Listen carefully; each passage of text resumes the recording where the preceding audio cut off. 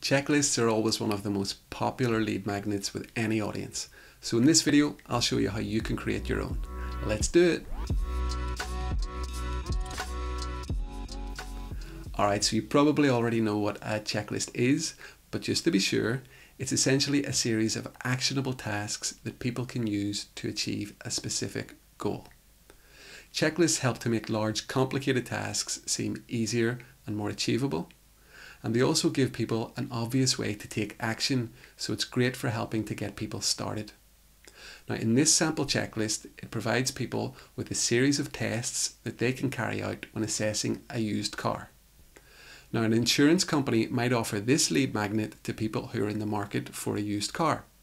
It consists of a cover page, a short introduction, two pages of practical tasks to be completed, and a call to action at the end. You can find the link to this checklist in the description below the video. Alright, so now we know what a checklist is, let's go ahead and recreate this example in Beacon. Alright, so as always, we're going to start this project on the Beacon dashboard. We're going to go to the yellow button and select Create New Lead Magnet. The format that we're going to be creating today is obviously a checklist. So I'm going to select that. We're not going to import any content. Um, and when it comes to choosing a theme, um, we're going to look for one that sort of is slightly close to, to our purposes. Now, the checklist that we're making is all about used cars. It's about helping people to do some checks on a used car before they purchase it. Um, so I can't really see any uh, templates here that are related to cars. So we're going to find one that's kind of close to what we need and then just customize it to suit our purposes. Um, so for example, this template has like a, it's got a big background image. It's got this like orange banner that, you know, makes the text in it very readable. So let's just pick this one and we'll customize it uh, to suit our needs. We'll just give this lead magnet a title um, so we can find it later.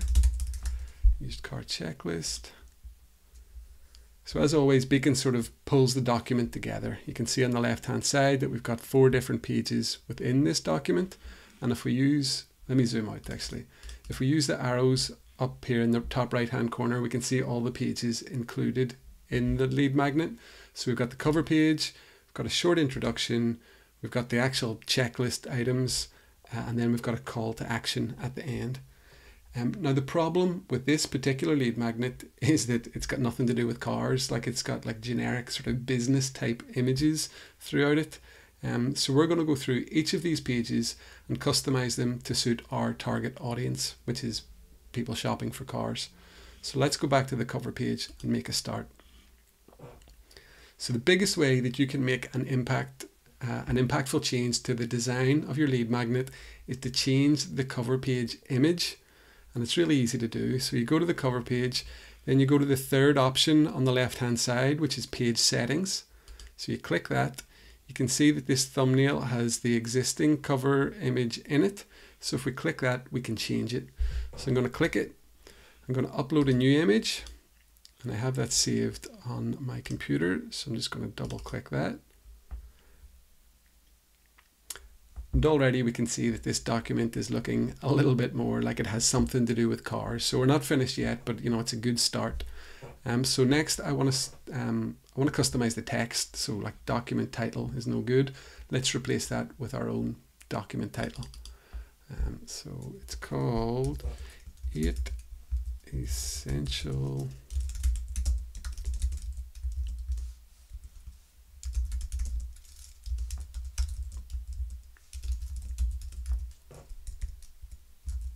So you can see that we've added the headline um, to the cover page, but it's all squashed over to this one side. Uh, and there's a lot of empty space here. So really we want that title to just expand, you know, the full width of the page. Um, so one way I can do that is, um, let me zoom in. So see when I hover over these elements, you can see that this blue dotted line appears. It's because there's a column here within this strip and this column contains the logo and this column on the other side, on the left hand side, contains the text. Uh, for our purposes, um, we don't really need to have the logo here. We're going to put it towards the bottom of the page. So let's just delete this column. So we do that by clicking on the column, uh, going over to the blue menu, and then clicking the delete button. So you can see now that our text sort of goes the full width of the page. Um, we have room to put a company name below the title, but I like to use that for a little bit of like qualifying information just to make the, the checklist a bit more enticing. Um, so I'm going to just add in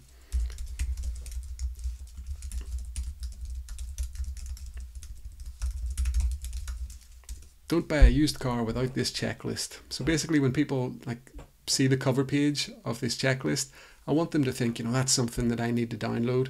And so the the image and the text that you use on the cover page are really important. Um, so let me zoom out and see how that's all looking.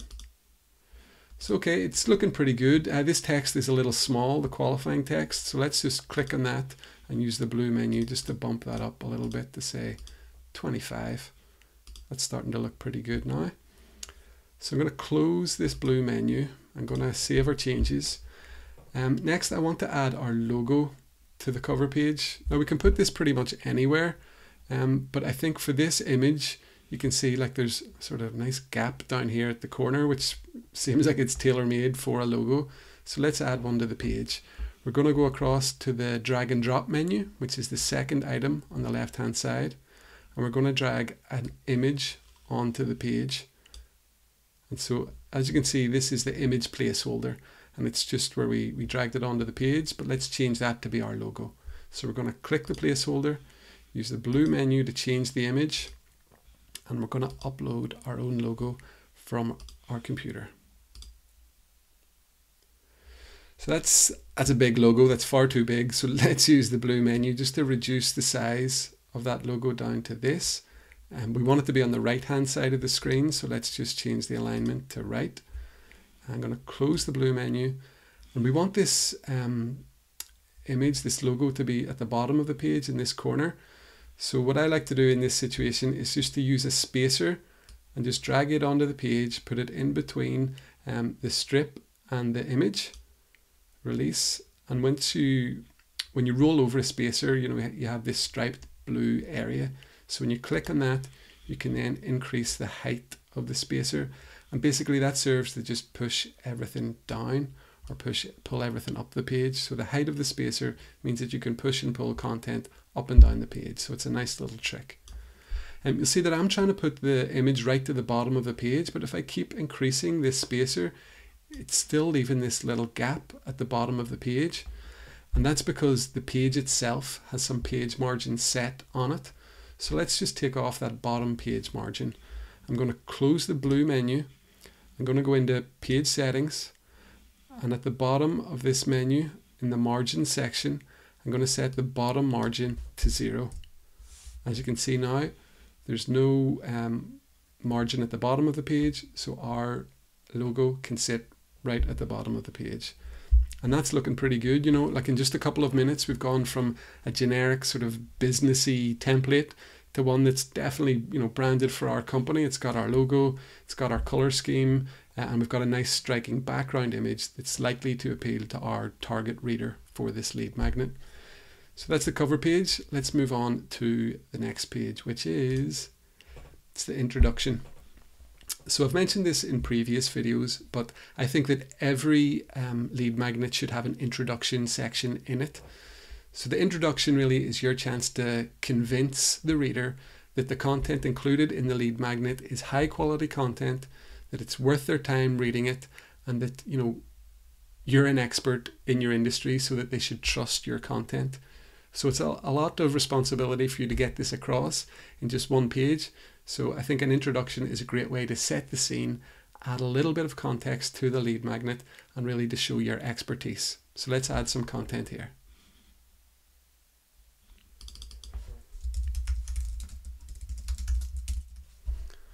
Okay, so that is the introduction for our checklist lead magnet. Um, if you read the text and you can, if actually if you click the link uh, below this video, you'll be able to see this completed lead magnet. So if you click that link and read this introduction, you'll see that it's um, this checklist has been made by an insurance company and they're trying to reassure readers that they know what they're talking about. You know, they've been in business for 50 years, they know cars, they know what to look out for when buying a used car. So they're setting the scene, um, they're like establishing their expertise and they're helping the reader to trust them. So that's the introduction pretty much done. Let's move on to the next page. Okay, so this is probably the most important page in the checklist. Like this is going to contain the actual checklist items. So these are the eight steps that people should perform when um, when buying a used car. So there's quite a lot of information for us to, to get across. Uh, and I'm just looking at this page and I'm not sure it's the right format for us. Um, so if you look at this box, it has you know a list of like 10 checklist items. And this particular format would be good if like we had nice short checklist items. And like fair enough, we've only got eight of them. But for each checklist item, I want to have a little bit more information about like, you know, what checks to perform. Like it's no good just saying you should check the tires. I want to have a bit more information saying like how do you check the tires. So this format doesn't really work for us completely. So I'm just gonna I'm gonna make a few adjustments, and they're really easy to do, uh, and hopefully that'll help to show you how you can make similar adjustments when you're creating your own checklist lead magnets. Um, so the first thing I'm going to do is I'm going to delete this headline. You know we've got a cover page that um, that has the title of the checklist. So let's just click on that, use the blue menu to delete it. And the same thing with this small paragraph, like we have a dedicated introduction page. I don't think we really need to repeat ourselves here. So we're going to click on it. We're going to use the blue menu and we're going to delete it. That leaves us, you know, this list of 10 checklist items. So I'm going to delete the, the last nine. So that leaves us with just one. And then I'm going to rename this checklist item to something like tires. Um, and let me zoom in so you can see that a little bit better. So, as I said before, it's no good just saying to people that you should check tires on a used car before you buy it. Like, we need to tell them what to do. So, let's close this blue menu and we're going to go to the drag and drop menu, which is the second option on the left hand side. And we're going to drag in some more text. So, I'm just going to drop this in the box beneath tires. And we're going to use this paragraph to explain you know, what people should be doing. Um, so I'm gonna, before we add the text, let's just change it to a white color. So I'm gonna click the text, use the blue menu to change the text color to white. And now I'm gonna uh, actually go ahead and edit this text. All right, so that's our first checklist item. Uh, it's tires. We have a, a, statement explaining how people should check the tires, but it's still not quite right. Um, I'd like to make this uh, more of a headline. So I want to make the actual tires, the checklist item, a little bit bigger. So when I click on it, I can see from the blue menu that this is currently um, 18 pixel font size. So I'm going to bump that up just to 30. Oh, not 300, but 30. Um, so that's um, it's a little bit bigger. So when people are like glancing down the checklist, they can get the main items so they can remember in their head like, oh, I need to check the tires, I need to check the windshield, things like that. Um, so this is starting to look pretty good. Um, the one thing I would say is that the the actual box itself is a little bit narrow. You know, we've got a lot of wasted space at either side. Um, so let's make that uh, this orange box a little bit bigger. So the way to do that is um, to reduce the page margins. So we're going to go into the page settings, which is again the third option down on the left hand side. We're going to go down to margins and we're going to reduce the left and right margins to 100 each. You can see now that the you know the box is a little bit bigger, the text is a little bit more readable. Um, so we're looking good at the minute. Let me just uh, click save. So now we've got one checklist item, but we need another seven.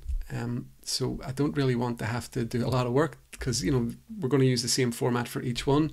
So I'm just going to duplicate this box that I've already got. So I'm going to click on the box and in the blue menu I'm going to go to the bottom. I'm going to click duplicate. So again I'm going to click on the orange box in the blue menu. I'm going to select duplicate. Let me scroll down. I'll try it one more time. Click on the orange box, go down to the blue menu and select duplicate. So now if I zoom out, you can see that we've got you know four good items, four good checklist items on the page. We don't really have room for um, you know we've another four to add. They're not going to all fit in this page, um, but we'll worry about that later. For now, I'm just going to make some quick customizations to the text on this page, um, just for the to add the different checklist items. So the first one was tires. The second one is going to be glass. And the final one is service history. Um, so if I close this blue menu, you can really see that this is um, it's starting to take shape. So this is a good checklist with four items on it. Now we have another four to do. They're not going to fit on this one page. So what we're going to do is we're going to duplicate this page and then just edit the text. Um, so I'm, first I'm going to save my progress. I'm going to go to the Pages tab. I'm going to find the checklist page, which the page that we're currently on is yellow. So if I go over to the side menu and click duplicate, we now have a, an exact replica of our original page that's been added to the end of the document. So I'm actually I'm going to move that up just so it's below the other items. So I'm just going to drag and drop that um, duplicated page up below the original page and then I can start making some changes to our duplicate. So the fifth checklist item is going to be, um, I think it's accessories. And the final option then is engine screws. Um, so we can go through and sort of add, you know, the descriptive paragraph for each one, but you know, you get the idea. You can just go in and, and add those yourself. Um, so I'm going to close this blue menu. I'm going to click save. And then um, I'm just going to do a quick preview of this document to see where we're at. So using the preview link at the top menu, we can see that, okay, this is the cover page. We've got our title, um, nice big background image. We've got our logo at the bottom. We've got the introduction, which is looking good. And then we have our checklist items. So that's one, two, three, four. And on a new page, we have five, six, seven, and eight. So that's perfect. Um, Yes, so the final page that we need to edit now is the call to action page. So let me just zoom out here. So this call to action page is it's just a bit generic. Again, it's not really anything to do with the car industry. So let's go back into the Beacon editor and uh, customize this page.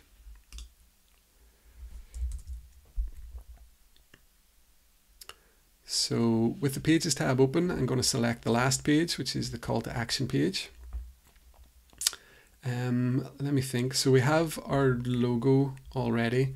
So I'm gonna I'm gonna delete this logo, um, and I'm gonna add ours to the top of the page instead. So again, I'm going to the drag and drop menu, um, clicking and dragging the image card onto the top of the page, releasing.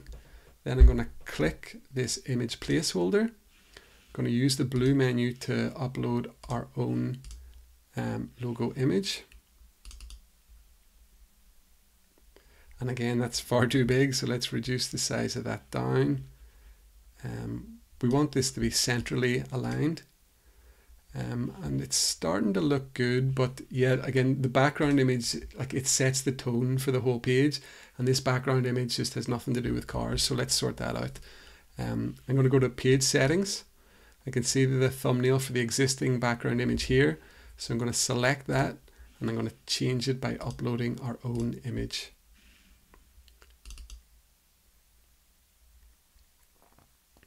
Nice. Okay, so we have our logo at the top. We've got a nice uh, background image of like an open road. So that's perfect for, for people who are shopping for a new car. You know, they'll want to, to picture themselves driving the new car on the open road. Um, actually, the placement of this strip is a bit awkward. Um, I think if we move that to the bottom, we could see, you know, the horizon of the road. So that would be a bit better. So there's a spacer here um, just underneath our logo. So I'm going to click on the spacer and I'm going to use the blue menu just to push the um, that orange strip all the way to the bottom. Um, and again, you can see that I can't quite get that to the bottom, and that's because there is page margins there. So I'm going to close the blue menu, go into page settings, go down to margins, and I'm going to reduce the bottom page margin to zero. That gets it to the bottom. And actually, now that we're here, um, it would look better if that our, if our logo was just sitting right at the top of the page. So let's reduce the top page margin to zero as well. Perfect. All right, so I mentioned previously in the video that this checklist was going to be produced by um, a car insurance company. And the car insurance company wanted to put together this piece of content specifically for used car shoppers because they know that people who buy used cars are more likely to buy insurance products that come bundled with, um, say, free breakdown cover. So that's what we're going to make the call to action for this lead magnet. We're going to say, like, now that we've given you this great information for how people can uh, uh, check a used car before they buy it, here's some insurance that completely covers your needs.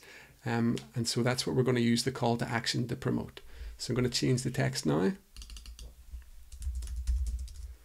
So you can see now from this page that um, we're doing a good job of like explaining what the offer is, like what we're offering people, which is, you know, insurance with breakdown cover as standard. But now we need to lead people to like where they can purchase or where they can get a quote for their insurance. And we'll do that with the button. So we're going to click the button. We're going to use the blue menu at the left hand side to customize the button text. Um, so I'll change that to like get your free quote today. Or not a free quote, quotes are always free. I'll say get your uh, instant quote today. It's a more compelling uh, call to action for the reader. And then all that's left to do is really to replace this dummy um, this dummy link with one uh, to your own website. So I can't remember. Let's say like coverinsurance.com slash free quote. So that's it. We're going to close the blue menu, click save, and then if we go to preview the document again, you can see that it's looking really great. Like we've got a, a brilliant cover page with a striking image and really clear text. We've got our own brand incorporated through the logo. We've got an introduction that shows our expertise uh, and helps the readers to trust us. We've got the essential items that people should carry out um, before they buy a new car. So these are all checks with you know a little bit more of a description about how people can do it. You know this is valuable content that most people wouldn't know and understand, but you're using your expertise to teach it to them so they can apply it in their own situation. And then finally, we've got this you know stunning call to action with the open road in the background we're reassuring people that our company offers free breakdown cover as standard because we know that the people reading this checklist are going to be more interested in buying used cars. So they're going to be more interested in buying a breakdown cover as part of their insurance package. So that's it. A checklist is one of the most popular lead magnet formats out there because it's so practical. You're really helping your readers out and they'll appreciate it because of that. Thanks now.